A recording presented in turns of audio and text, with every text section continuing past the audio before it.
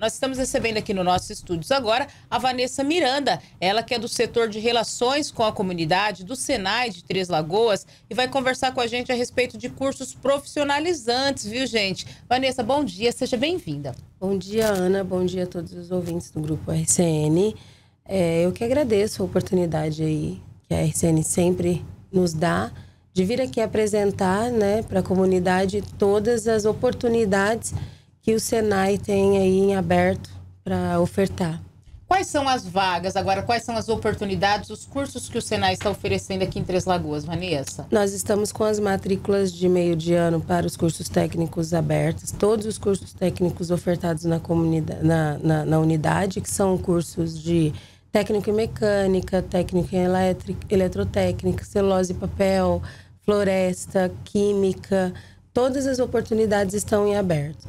A matrícula, ela, nós estamos aí com uma novidade através do portal futuro.digital, então é www.futuro.digital e matrícula 100% online. Aqueles que tiverem dificuldade pode procurar a Secretaria do Senai para estar realizando a matrícula a partir das 13 horas, das 13 às 22 horas, é o funcionamento da nossa secretaria para auxílio à matrícula, mas a gente, assim, para comodidade, a gente aconselha que faça a matrícula 100% online. Uhum.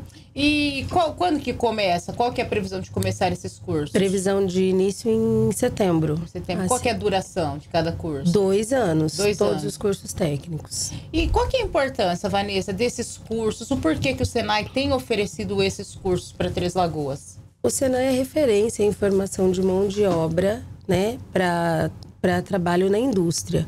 É, todos os nossos cursos, todo o casting de curso do Senai, ele é pensado para atender o perfil de indústria da região. Então, é, muita gente às vezes até pergunta, né? Ah, vocês não ofertam o curso de enfermagem? Não, nós ofertamos cursos para a área da indústria, né? É, tem outras instituições que ofertam cursos voltados para o comércio, para a área de serviços mas o Senai é para a área da indústria. Então, quando nós pensamos no nosso portfólio de curso, nós pensamos justamente naqueles cursos que a indústria já consegue absorver.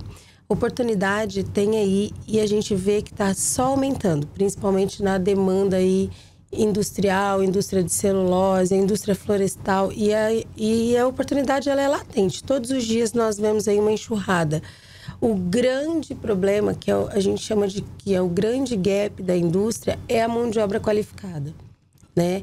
Então, a pessoa que se qualifica, ela já sai 10 passos à frente, ela tem uma chance enorme de ser absorvida pelo mercado de trabalho.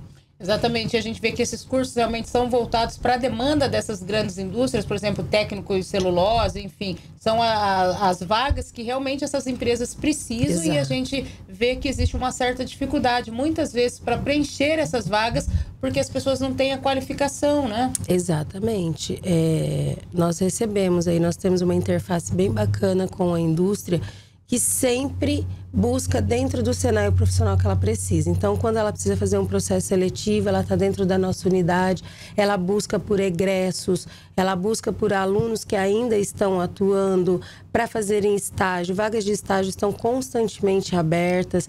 Então, assim, às vezes o aluno ele entra como estagiário e aí tem a oportunidade de ser efetivado, porque depende muito, né, do desempenho dele, não só da do, do, do, treinamento ou do curso que ele esteja fazendo, mas do desempenho. A gente sempre fala que quando o aluno ele se torna aluno Senai, ele tem à disposição dele tudo que há de melhor em tecnologia, conhecimento, transferência desse conhecimento. Nossos instrutores, nossos é, professores, eles têm é, todo o know-how, toda a capacidade, toda a didática o Senai ele é equipado com os melhores laboratórios, equipamentos, justamente para transformar esse aluno num profissional gabaritado.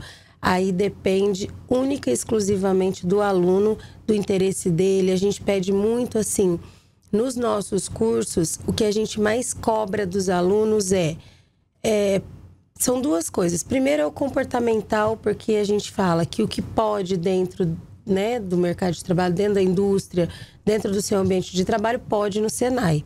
O que não pode lá também não pode. A gente trabalha o comportamental dele desde o início. postura de mercado de trabalho, vestimenta. Dentro do Senai, o aluno ele é preparado para esse mercado de trabalho, não só com as soft skills, como hard skills. Então a gente consegue trabalhar isso. E outra coisa que a gente cobra muito é a assiduidade, né? Aluno que não falta, aluno frequente, aluno que está recebendo o conhecimento como de fato deve ser aplicado. Aluno teve isso, pode ter certeza que ele está sendo bem avaliado e o mercado de trabalho está de olho nesse aluno. É isso que eu ia questionar. Você acredita que a pessoa que sai do Senai com curso é, com o seu certificado, ele consegue fácil uma vaga no mercado de trabalho? Sim, se o aluno foi bem avaliado, se é um aluno que ele tem ali é, no histórico dele, né, uma avaliação positiva, pode ter certeza que a facilidade é bem maior. E como que está a procura? As pessoas têm procurado se qualificar ou ainda é baixa a procura, Vanessa? Olha, é, a, gente, a gente tem notado que está aumentando, né? Eu estou há quatro anos no Senai e nós tínhamos assim uma grande dificuldade para preencher as turmas dos cursos técnicos e era uma luta Justamente por quê? Porque aqui em Três Lagoas tem um perfil diferente, né? A demanda de, de, de mão de obra é muito alta. E aí, justamente por essa demanda ser alta, que havia muita oportunidade de emprego, as pessoas pensavam em se qualificar menos.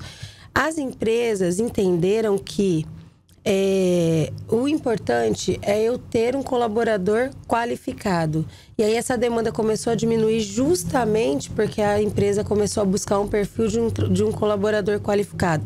Nós fizemos esse trabalho quando a gente, nós observamos que as empresas buscavam um colaborador qualificado, mas na hora de contratar ela, tinha, ela não tinha essa exigência né? Ela não tinha essa exigência. Então, nós fizemos um trabalho junto com as indústrias. Bom, se você quer um colaborador qualificado, você precisa exigir no processo seletivo que esse colaborador esteja qualificado. E aí o Senai está aqui para isso, né?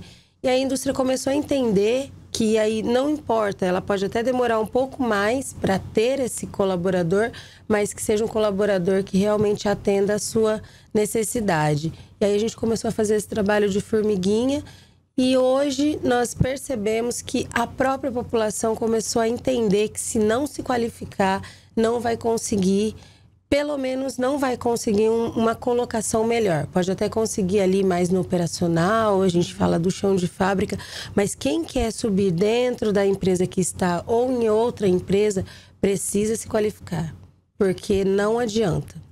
Maravilha, Vanessa, a gente quer agradecer pela tua oportunidade, Eu que agradeço. né, para a gente reforçar as pessoas, principalmente os jovens, procure a qualificação, qualquer pessoa, né, na verdade não tem idade para se não. qualificar, para conseguir um emprego melhor, né, uhum. tem tantas vagas aí é, disponíveis, muitas das vezes essas vagas não são preenchidas por falta da qualificação, e em Três Lagoas nós temos o Senai, gente, preparado para oferecer esses cursos. Obrigada, viu, Vanessa? Obrigada a vocês pela oportunidade e assim todas as vezes que chamarem, nós estaremos aqui justamente para que a gente faça essa comunicação mais próxima aí para a comunidade, para que todos tenham a, a consciência e, e a, o conhecimento de que a qualificação é o melhor caminho.